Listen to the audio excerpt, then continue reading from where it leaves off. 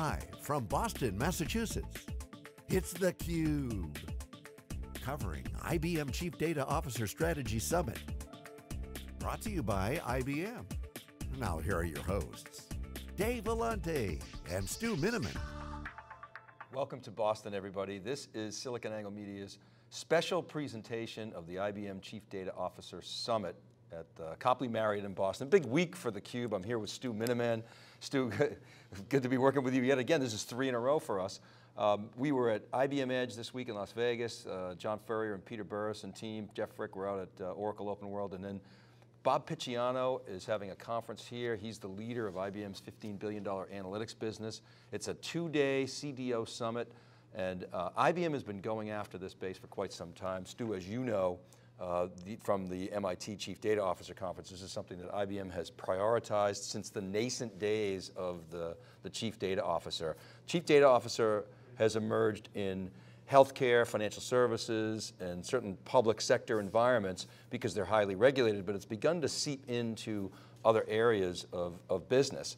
A lot of discussion, discussion over the past several years about to whom should the CDO report? Should it be a reporting to the CIO? Most people feel it should not. What's the, what's the impact on the role of the CIO? I thought the CIO was the one who was responsible for data uh, versus just keeping the lights on. So some interesting discussions here. We heard, uh, Stu and I were at the DIVA roundtable this morning and we heard some good stats, but Stu, I'll bring you into the conversation. You were at the CDO uh, event at MIT this year.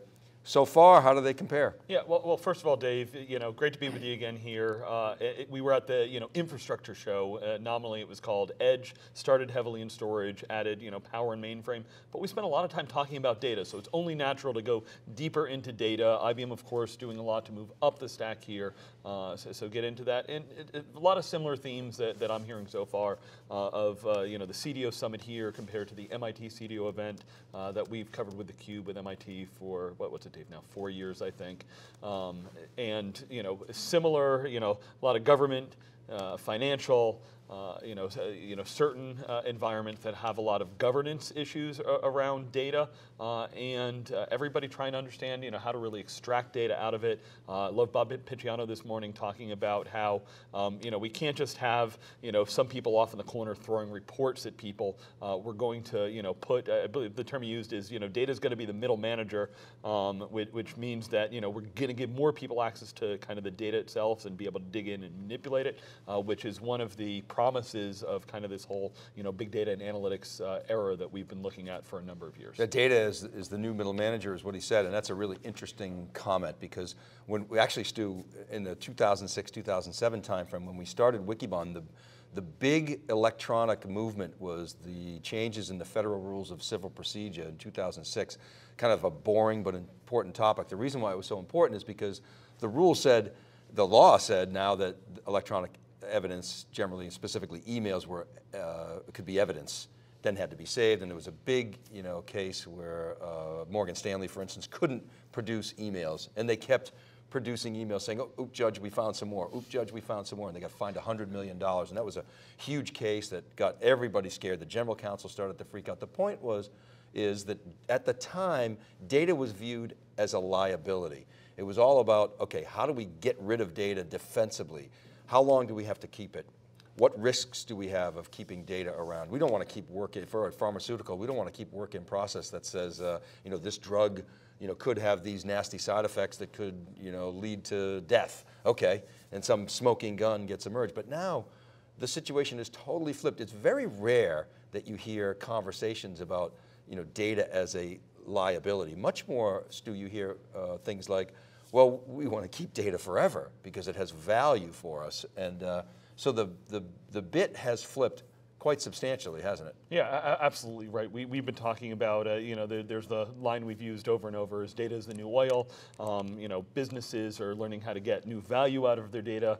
Um, and right, that bit flip of just saying, oh, wait, I have to store it and it's a hassle and I need to, you know, follow all these regulations to what can I do with it? How is it going to be uh, my differentiation going forward? Uh, and IBM's done some real interesting things. Uh, Bob, Bob talked a little bit about, you know, once again, why they bought the weather company, uh, which is all about data heck, I was going back and forth with some people and saying, you know, Twitter might be selling itself. People talk about people like Google and Salesforce. Maybe IBM should buy Twitter because, you know, what better way to train Watson than to give them the access to what everybody in the world is thinking, uh, even though we'd worry that Watson might turn into a troll. Well, we're hoping to have uh, Pepper on at World of Watsons, Stu, so maybe we can ask her about that. But um, so a couple other interesting stats we heard today. So Stu and I attended the Data Diva uh, breakfast session. We were uh, a, a, couple of the, the, the, the, males who were actually at the breakfast. There were several, actually, a handful.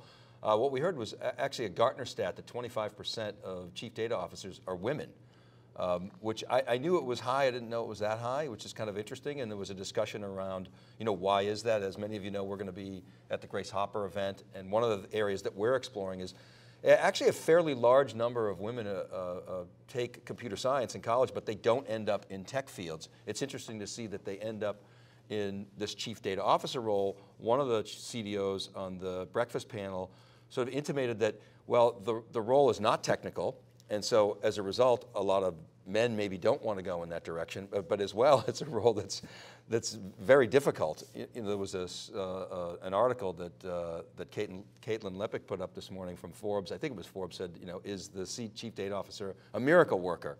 Well, you know, a lot of women are miracle workers. Maybe men don't want to work miracles. Who knows? You know, it's something that a lot of, not much research has been done on that. But it's an interesting discussion, just sort of hearing the perspective of the women who are chief data officers. What did you take away from that? Yeah, Dave, I mean, we touched on a broad number of issues, uh, things like just hiring, you know. Uh, I think many people have heard the research that say, you know, men, if they feel that they're 50% qualified, will go uh, and apply for something. Women need to feel that they're 75% qualified. So if you change the way you write your job description uh, and don't just say, hey, here's my ideal candidate, you say, hey, I'd like you to have one of these three things, you know, three of these five things. Uh, it might open it up. Uh, there was one, one person that said when they changed the description, he stopped getting all, you know, over 40 year old male Caucasians and actually got a very diverse, uh, you know, uh, pool of applicants uh, and ended up hiring someone and felt that they, they really added really well to the team because uh, we understand we need a diversity of ideas to be able to help us make better decisions. I mean, we talk about data, you know, the more data, the better, the, the better viewpoint, the more different, you know, backgrounds, it helps us a lot. So hiring,